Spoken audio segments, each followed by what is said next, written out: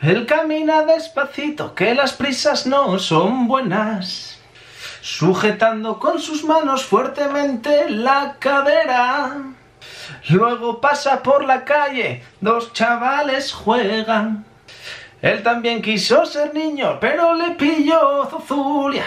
Molinero, molinero, conociste a una ucraniana. De esas que te marcan goles y te parten toda la cara. Escogiste a la más fea, a la más guarra. Sin saber cómo ha venido, te ha cruzado toda la cara. Lo primero, en los cascos porque estaba escuchando mientras que hacía el gilipollas un audio de Rodri Faez que os voy a poner ya de ya. Al hablar Rodri Faez, tendréis su canal también abajo en la descripción, también podéis seguirlo en Twitch, en Instagram, Rodrigo Faez. Todos sabéis quién es, ¿no? Vale. Hola a todos, visto en el partido entre Sporting y Albacete ha sido el reflejo de lo que es el Sporting de Gijón. Una empresa, eso es lo primero, porque es una sociedad anónima deportiva, ya no es un club, desgraciadamente, hecha por y para la mediocridad un equipo sin ambición, al igual que su entrenador. Mismos cambios. Es como el niño que de repente viene con los deberes hechos de casa y que dice, ya sé lo que me va a preguntar la profesora. Ningún tipo de improvisación, nada, de nada, de nada. Y encima cambios defensivos. Y actitudes también defensivas. Pero bueno, es lo que hay. Desgraciadamente es el Sporting que tenemos que soportar desde hace no un año, ni dos, ni tres, ni cuatro, sino hace 25 años. Saludos, abrazos y muy buenas a todos. Es que le dije, Rodri, mándame un audio que me apetece, métete ahí un poco en el postpartido para que la gente, bueno, pues tenga un punto de vista de alguien profesional que sabe más de fútbol que yo, seguramente muchísimo más vio. Eso asegurado. ¿Qué pasa, manes? Yo soy Lopi23, bienvenidos a un nuevo blog postpartido. Albacete 1, Sporting 1, 51 puntos. Andaba la gente que si con 50 no había permanencia y tal. Bueno, con 51 yo creo que ya la cosa podemos ir dándole forma, ¿no? ¿Qué pasa? ¿Qué pasa? Que ahora sí que sí, ya pues yo diría que de todas, todas se nos esfuma al mil por mil las opciones de playoff, los sueños, todo lo que teníamos ahí en plan de eh, posible playoff, si ganamos 4 de 4, venga, venga, venga, listo. Además en un partido, de verdad que es que fuimos nosotros echándonoslo encima el partido, o sea, el partido empezamos mal, se nos puso de cara, pudimos rematar y rematar y rematar y al final casi pidiendo la hora. Pero bueno, antes de nada, por esa cover inicial que hice de Molinero, yo creo que mínimo deberíamos de tener 1500, 2000, 3000, 5000, 25000 likes. Pero no voy a decir nada, no te voy a obligar a que dejes like, solamente te voy a decir que lo dejes. O sea, no te lo voy a obligar, pero te lo voy a pedir. Te pido que dejes like y que te suscribas, que no pasa nada. ¿Por qué empecé con Molinero? Pues porque creo que de toda la mierda del partido, creo que lo de Molinero es el sumum de la mierda, ¿vale? Y no voy ahora aquí a quedar de, no tío, porque el fair play... No, no, no, no. Vamos a entendernos todos que aquí todos sabemos lo que lleva la movida, ¿vale?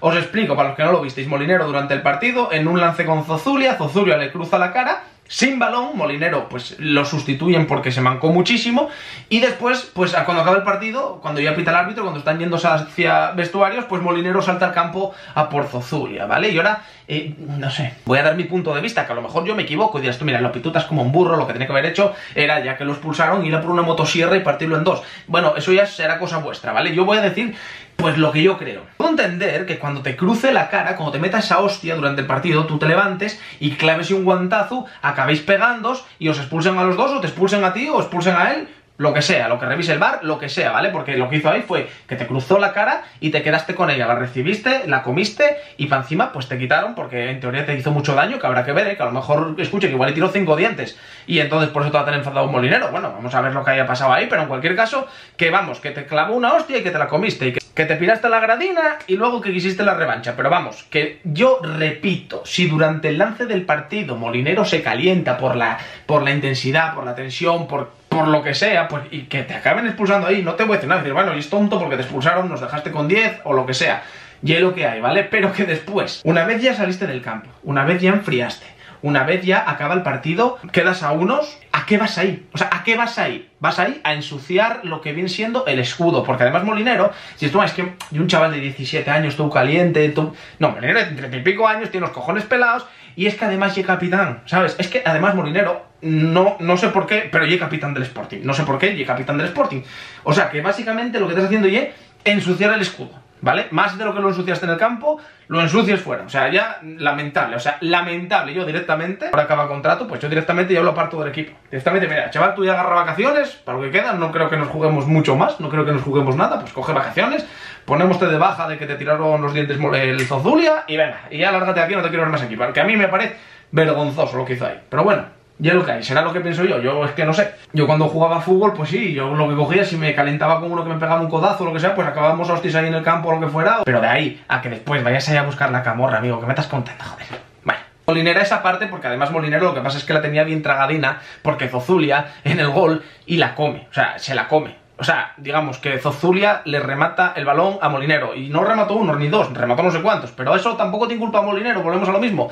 Porque Joder, la culpa es del clubón de central, ¿sabes lo que te digo? Que se empeña y se empeña y se empeña y se empeña. Pero ya lo que hay. Remato ni una, ni dos, ni tres Zozulea, remató unos cuantes. Voy a intentar no enrollarme mucho en este tipo de partido porque es que de verdad quiero ir a jugar Fórmula 1, que eh, básicamente estamos por las noches jugando en Twitch a Fórmula 1, eh, que hicimos una escudería y por lo menos ahí nos pegamos unas buenas risas, ¿vale? Ahí nos echamos unas buenas risas en el Twitch con el Fórmula 1 2020, hicimos la escudería F1 Sporting Team y escúchame, sacando rendimientos inmediatos. Por si os queréis pasar luego, que estaremos por ahí del partido. Los primeros 20 minutos nos comió, literalmente nos comió el, el, Albacete, nos comió, nos comió, nos comió, nos comió, nos comió. Tuvo un paradón Mariño, un rechace que pegó luego en el palo, un gol anulado de Frajuego, bueno, eso no sé si fue antes o después, bueno, que el Albacete nos comió, literalmente nos comió, nos comió por todos los sitios. Y tuvimos suerte de que Manu García, el que no da un pase, el que está sobrevalorado, el que no va para nada, que no sé qué cojones hasta aquí, que no sé qué, que no sé cuánto, ¿eh? lo que decís todos por ahí, los que, como los de los mamadores de Polla Serbia, sois los que decís que Manu García, que está sobrevalorado, bueno, toda esta pesca, ¿no?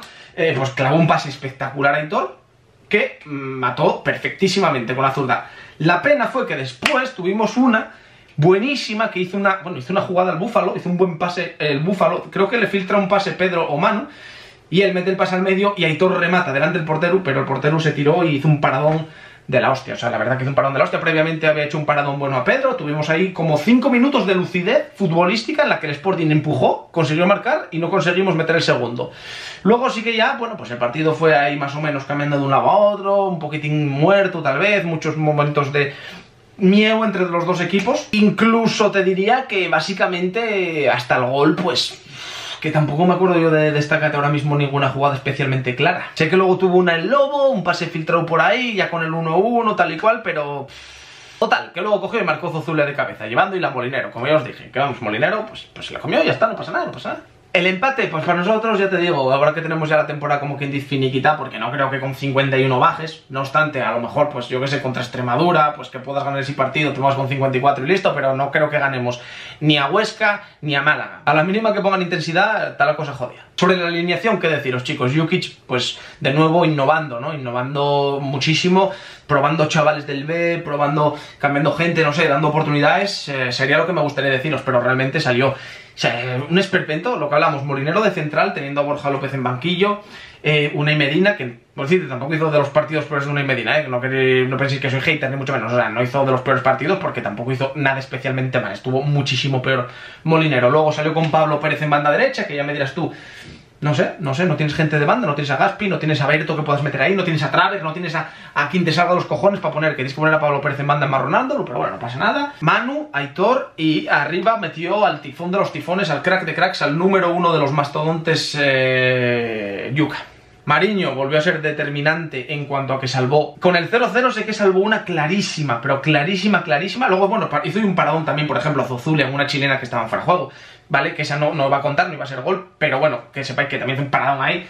No sé, Mariño espectacular. Luego el Búfalo ni bien ni mal. Para mí, eh, Molinero, pues de, vuelta y media. Va bien haciendo todo lo de la defensa en cuanto a despejes, achicar de cabeza todo esto. Damián tampoco lo vi ni especialmente mal ni especialmente bien. Luego en el centro del campo salió con eh, Pedro y Salva. Salva hizo buen partido, lo que sí que eh, tuvo la mítica caraja que literalmente pues casi nos cuesta un gol. De hecho nos costó el gol que anularon por fuera de juego, si no me equivoco. Si no me equivoco, pero bueno, hizo buen partido en cualquier caso Chris. Pedrín que hizo muy buen partido. Eh, por la izquierda Aitor, que estuvo súper activo, tirando diagonales, buscando verticalidad. Bueno, hubo una enfadada de, de, Yuka con Aitor, que es que yo ya directamente. O sea, una jugada que coge Aitor, se la cruje él, porque se la cruje, sí que es cierto. Eh, Yuka enfadado, tirando es así. Bueno, lo de siempre del serbio. Eh, Manu, que casualmente, llamadme a mi visionario del mundo del fútbol o lo que queráis, pero No está Carmona. Carmona no va para el medio, no, no, no, no satura la zona de la, digamos, media punta. Y Manu casualmente puede filtrar balones. ¡Qué locura! Espectacular, espectacular. Bueno, Manu, la verdad que Anaki Den te genera fútbol. De hecho, el pase que mete para asistencia es acojonante. Los cambios sí que fueron de verdad reveladores, fueron unos cambios buscando completamente ir a por el partido, unos cambios directamente para cambiar el sistema, eh, marear al rival, que no sepan por dónde van. Eh, bueno, me gustaría deciros eso, pero realmente los cambios fueron Molinero por Borja, de centrales, metió, mm, quitó a Pedro para meter a Javi Fuego, para amarrar, mete doble pivote para amarrar el centro del campo, para, para amarrar el resultado, luego mete a Lobo por Yuka, que Lobo tampoco hizo una mierda, tuvo una que un tiro y, nada más, no hizo más, o sea, no hizo una mierda Lobo. Quitó a Pablín para meter a Murilo y eh, quitó a Manu para meter a Nacho, o sea, como veis, hombre por hombre, puesto por puesto, pieza por pieza, 0% innovación, luego nos quedamos con 10 y listo. ¿Qué pasa ahora? Yo creo que la temporada básicamente queda en tres partidos que deberían de jugar todos, todos, repito, todos los que no hayan tenido minutos. Y empiezo pues mira, quito a Mariño, meto al cubano,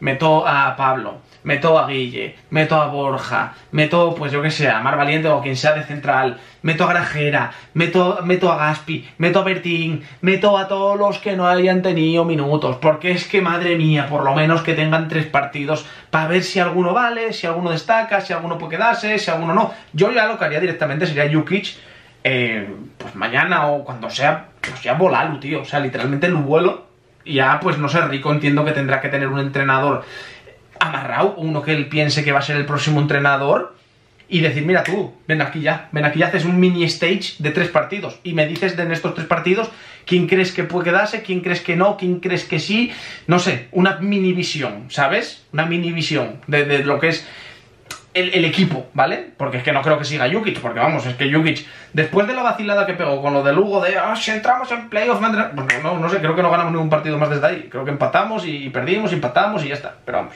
Total, amigos, que ya está. Eh, lunes contra Málaga y, y ya lo que hay, ya lo que hay, ya lo que hay. Ahora voy a editar esto, en lo que se renderice y demás, voy a cenar y empezar el directo y luego subir el vídeo. O sea, tú según estés viendo esto ahora, seguro estoy en directo en Twitch. Tenéis el link abajo en la descripción, junto con Instagram y toda la pesca. Y, nada, pues oye, que... Que para adelante. ¿Verdad, tíos?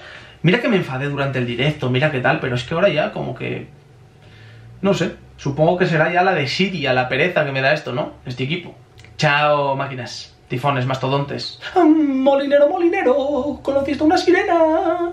Esos que dicen te quiero si ven la melena suelta. ¡Ay, qué tremendo calvo! Te partieron la jeta. ¡Ay, ay, ay, ay, ay, ay, ay, Zozulia! ¡Hazle una trenza!